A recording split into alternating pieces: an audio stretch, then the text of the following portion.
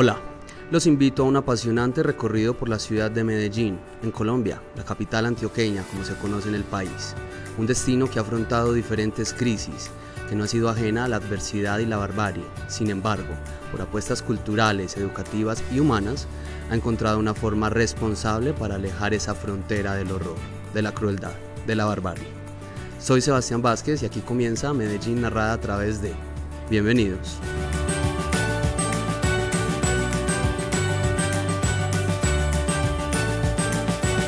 Hablar hoy de la Comuna 13 es hablar de un proceso bien interesante en la ciudad donde eh, las personas han encontrado un lugar para interactuar con los grafitis, interactuar con la comida, con los procesos culturales, eh, con la ropa, bueno, con una cantidad de, de sorpresas que nos podemos encontrar en estos lugares de la ciudad, exactamente en la Comuna 13 eh, donde el grafitura ha ocupado eh, espacios que tradicionalmente habían sido cooptados en su momento por la violencia y por otros temas más complejos. Hoy estamos con Steven Solano, más conocido como Nego. Él es un joven emprendedor de la Comuna 13 y desde hace muchos años viene acompañando precisamente este proceso del grafitura al interior de, de las calles de la Comuna 13. Y Nego, ¿cómo, ¿cómo ver lo que está pasando hoy en este lugar de la ciudad? Que llega gente hasta de Japón a ver lo que hacen ustedes. Bienvenido.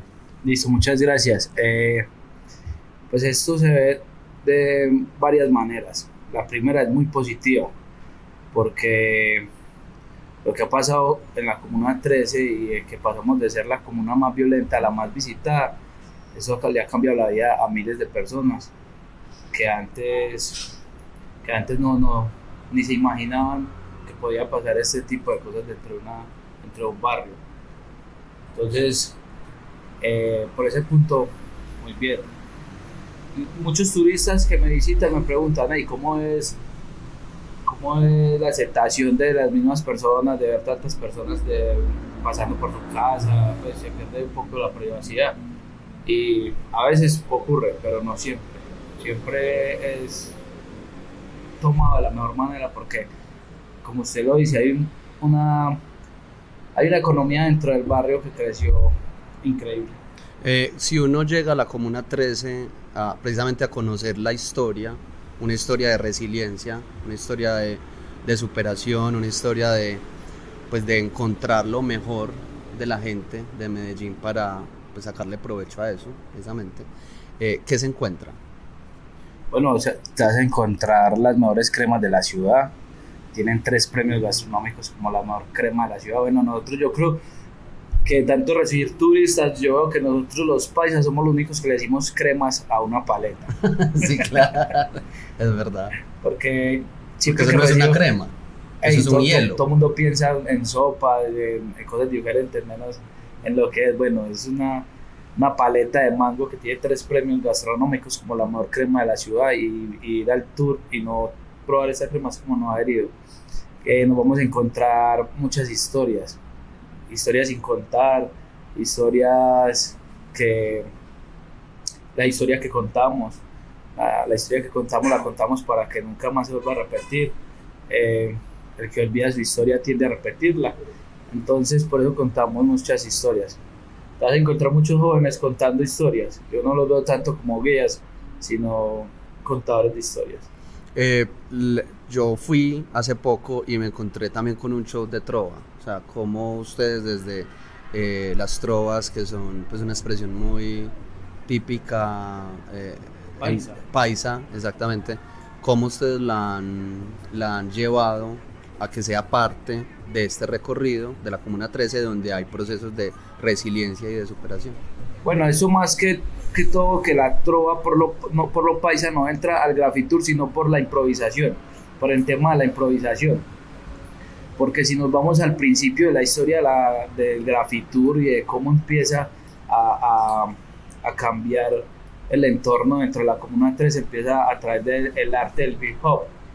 ¿sí? Eh, por un grupo de chicos que empiezan a soñar que a través de este, de este arte del hip hop que abarca cuatro elementos que son el DJ, el MC, el grafitero y el bailarín, eh, empiezan a hacer cultura.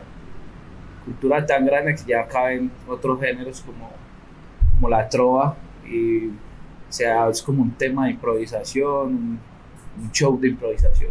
Cuando uno ve los grafitis en las paredes de las escaleras eléctricas, de eh, las- el mismo balcón que hay, o las casas, o lo que sea, ¿qué temas narran? O, o qué, em, no sé, Por ejemplo, digámoslo desde- así, desde el balcón- ¿qué cuentan? desde el balcón de la 13 que podemos contar, que desde esa parte se ve casi toda la comuna 13, se puede ver la, la escombrera, que es la fosa común más grande de Sudamérica, Eh, se puede ver los prim- las primeras partes intervenidas por estos chicos que les cuento que empiezan a hacer el arte dentro del, del barrio, lo primero que ellos hicieron fue pintar casas, eh, pintar techos, perdón.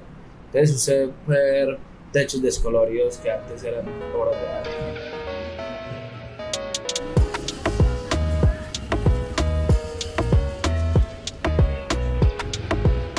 Eh, hay un, también, digamos, un tema bien interesante y es cómo a partir del arte la gente se salva. Muchas veces se piensa que a partir de la literatura, a partir de la música, en el caso de ustedes y en el caso de la Comuna 13, es el arte que ha salvado a muchos chicos, a muchos jóvenes.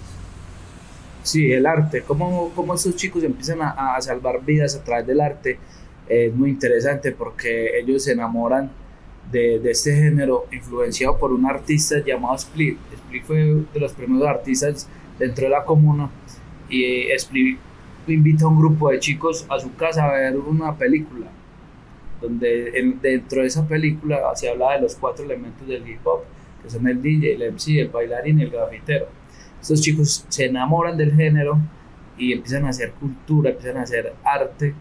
Eh, unos se, identificaron con el graffiti, otros con el rap. Entonces el, el rap, el rap es revolución artística popular y eso es lo que ellos empiezan a hacer, una revolución. Entonces ellos dicen, si, si nosotros eh, no seguimos el patrón psicológico que está arraigado en este territorio, que es crecer y coger las armas y, La y tener poder, eh, sino que cogemos ese, ese lado del arte. Muchos, muchos chicos que vienen detrás de nosotros se van a empezar a, a inspirar y van a querer ser como nosotros. Entonces tenemos mucha responsabilidad en eso, en, en siempre... En ser un ejemplo para que haya un relevo generacional y que los pelados quieran seguir haciendo este tema de guías, de producción musical, producción de contenido, Sí, ropa, no sé, ya está, de yo, todo. yo puedo ser un- uno de esos chicos. Yo, yo, yo, yo los vi más grandes en el colegio donde yo estudié. Ellos conformaron un grupo llamado C15, eh, inspirados por el único avión de la Segunda Guerra Mundial que sobrevivió. Ellos dicen, vamos a llamarnos como ese avión, C15. Y vamos a sobrevivir a esta guerra y a todas las que. Porque es un ejemplo de resiliencia total. Ajá. Eh, Nego, ¿cómo o, o qué le dicen más bien a usted, usted como guía de la Comuna 3 y como, digamos, ese validador que lleva una narrativa de ciudad y más puntualmente pues de la Comuna 13? ¿Qué le dice la gente o los turistas cuando van? Y usted les muestra la crema o la ropa o el graffiti o la trova o una cosa o la otra. ¿Qué, qué es, ¿Cuál es la imagen o cuál es la percepción de, de los turistas o de las personas que hacen el grafitur? Esas personas, eh, la verdad, se vienen siendo alguien y se van siendo otra persona. Eso, esto es, tiene ese poder De transformar. de transformar pensamientos, estigmas. Muchos, muchos entran a hacer el tour ni siquiera porque les guste mucho el arte. Muchos sí, sino que otros quieren curiosidad. por curiosidad, por ver cómo viven dentro de, dentro de un caserío, nunca han estado en un caserío, me ha tocado personas que, que nunca habían visitado un barrio de pobres, por decirlo así. Eh, entonces, es muy, muy relativo. La imagen se llama una imagen súper positiva. Sí, claro, siempre el positivismo, eh, se van contentos, eso sí, todos se van, se van contentos, incluso eh, han llorado de la felicidad, eh, me han abrazado, yo he sentido unos abrazos ahí que la verdad no lo he sentido en otras partes, se van queriéndolo a uno, hace uno muchas relaciones, entonces esto no es solo que las personas llegan a hacer el tour y ya es un tour común y corriente, no, eh, terminan siendo parte, de, es que son parte de este proceso. Nego, eh, ¿cómo cambiar ese discurso, o más bien, cómo contar nuestra historia desde las víctimas, desde los procesos bonitos de ciudad y no desde el turismo, digámoslo así, amarillista, el turismo que viene a un poco morboso a mirar. Exacto, ¿cómo, ¿cómo ustedes están cambiando eso? Porque vienen aquí, ya sabemos que, a, a buscar camisetas de Pablo Escobar o cosas así. ¿Cómo ustedes eh, tratan de voltearle la comba al palo, por decirlo así, y decir, no, venga, es que aquí hay otra cosa que no es la cocaína o no es el pasado narcotraficante que tuvo esta ciudad y este país? Listo, yo pienso que la historia eh, es eterna, la historia no puede cambiar, como es la historia, es la historia y así yo la cuento. Cuando yo recibo los turistas, cuento la historia tal como es, pero entonces no, no, no nos metemos mucho con el tema político, no hablamos nada de eso. No glorificando a los No. actores armados. No, nada, pues ni siquiera pues como haciéndonos como las víctimas. Eh, pues yo no, yo no me hago ver así en mi pueblo, porque es mi pueblo, yo nací ahí. Ahora se ve diferente. Eh, ¿Cómo cambiamos nosotros eso? Por ejemplo, yo primero cuento lo malo y después les cuento cómo pasó, pasamos de ser eso a lo que somos ahora. Eh, que ya el protagonismo dentro del barrio no es la maldad, no es la violencia, no es lógico lo hay y, y no pues uno no puede tapar un dedo, el, el sol con un dedo. Lo va a ver, pero ellos ya no son los protagonistas. Los protagonistas son los artistas. Ya un niño sale de su casa y los niños por casualidad, por, por estar afuera de su casa, aprenden a hablar inglés y son bilingües. Y, y niños de 6, 7 años, 10 años, hablando en inglés. Uno dice, wow, ¿cómo, cómo cambió todo? Si hacemos un recorrido, digamos mentalmente, en eh, el Grafitour de la 13, ¿cierto? C13, que es en el caso tuyo, pues, como tu emprendimiento, eh, ¿qué se encuentra uno? ¿O cómo empieza? Empezamos caminando, empezamos en bus, empezamos comiendo esto, empezamos viendo esto, tomando Bueno. un café. Sí, empezamos, que bueno, no, la verdad no es mío, es, es de un compañero, cofundador de Grafitour C13 y el dueño como tal de esta marca Grafitour C13 que es Perrograph. Yo a través de él es que entro a, a Grafitour Y hacer uno de los guías. y hacer un guía local. Empezamos por hacer la reserva. Eh, llegan a la estación San Javier, eh, nos, nos cogemos un colectivo, un colectivo que nos va a subir a la cima de la montaña, un alimentador del metro y vamos a empezar a descender. Eh, entonces vamos a visitar cuatro barrios de los 24 barrios que hay Que conforman la Comuna 13. que conforman la Comuna 3. Entonces, esos cuatro barrios, barrios son San Javier, Independencia número 1, Independencia número 2 y por último el 20 de julio. En el recorrido nos encontramos muestra- muestras artísticas, graffiti, muchos, somos la galería al aire, la- al aire libre más grande del mundo. Nos encontramos la obra de las escalas eléctricas que es, que es como un empujón a- al grafitura a nivel mundial, porque gracias a esto ganamos un premio como la ciudad más innovadora del mundo. Entonces, eso nos, nos puso en una vitrina.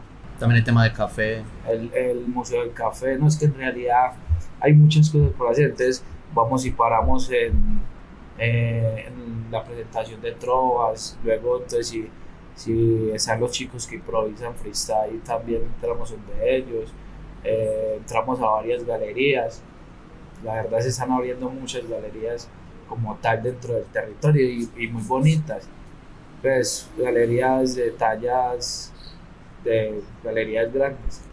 Hoy, ¿qué hacen, digamos, los jóvenes o las personas que están en toda esta industria?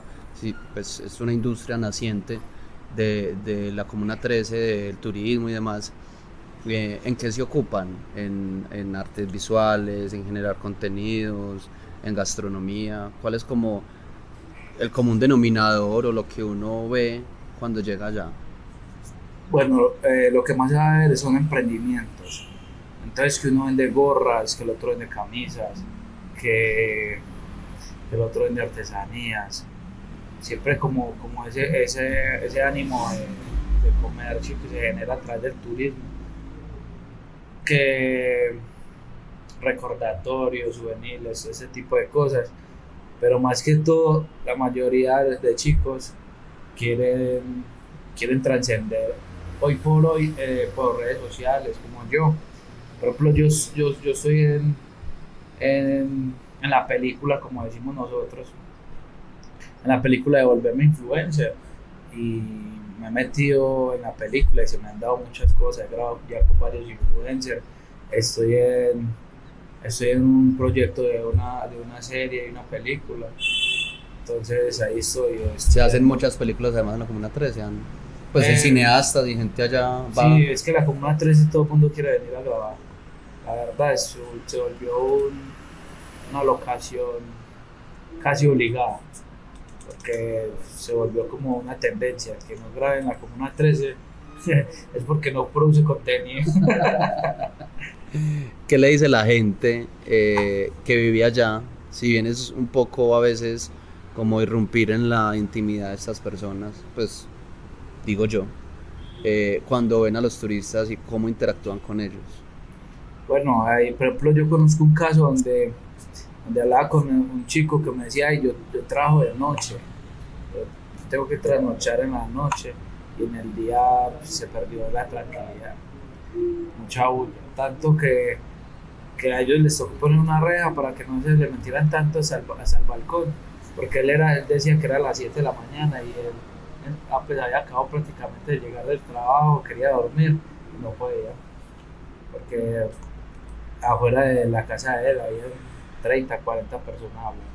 Claro, y, y de hecho, pues esto genera, digamos, un un choque entre la comunidad y los visitantes, pero también genera una cantidad de aspectos positivos, pues ni hablar de la economía, ni hablar de la calidad de vida de la gente, ni hablar del posicionamiento que van a tener ustedes o que tienen ya de hecho como Comuna 13 en el mundo también, me imagino.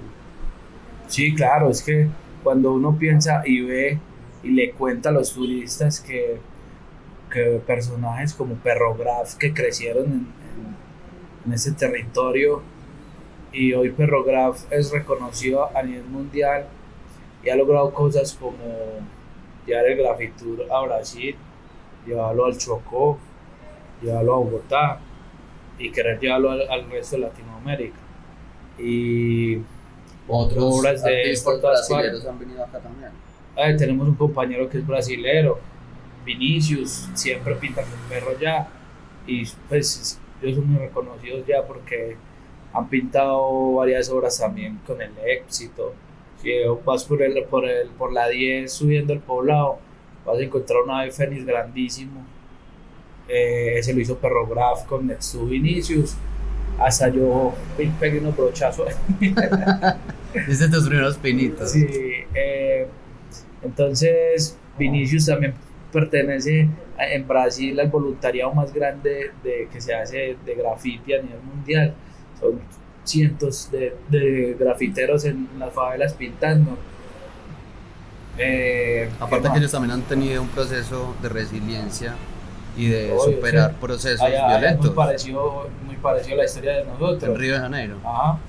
Vinicius nos cuenta y es tal cual, tal cual lo, Calcado. Que nos, lo que nos tocó vivir acá. Eh, también Perrograph, eh, ese Fénix lo sacaron en todos los boletos más, en todos los boletos de la lotería más reconocida en España. Ah, Entonces esos chicos han logrado cosas muy grandes, no, no solo Perrograph, sino también Chota 3 y hay otros países que nos han representado. Eh, C15, los que les cuento que empezaron con todo eso, porque yo digo C15 porque eso fue lo que yo, yo, yo oí cuando yo era niño, pero detrás de C15 estaba una cantidad de jóvenes, porque ellos cuando empiezan a hacer cultura se, se identifican muchos jóvenes, y hacen un grupo muy grande, que hoy en día cada uno tiene su, su agencia de turismo, tiene su, su sede, como decimos nosotros, su parche, Casacolacho que salió de C15, porque uno de los chicos de ese 15 se llamaba Colacho y lo asesinaron. Entonces a honor a él eh, se le colocó Casa Colacho y hoy en día es una corporación. Muy conocida, además. Muy conocida. Pues Nego, gracias por estar con nosotros en este espacio del ITM. Eh, ¿Cuáles son tus redes para que la gente te siga, esté pendiente del contenido eh, que se produce en la Comuna 13, haga el tour, conozca? lo esperamos para, hacerle uno de los mejores tours con uno de los mejores guías. hey, eh, me pueden seguir en Instagram como arroba negociando ando. me pueden seguir en Kawaii como nego videos, en, en, Facebook negociando ando y me pueden escribir al WhatsApp también 312 217 4918 estamos activos por todos los lados. Muchas gracias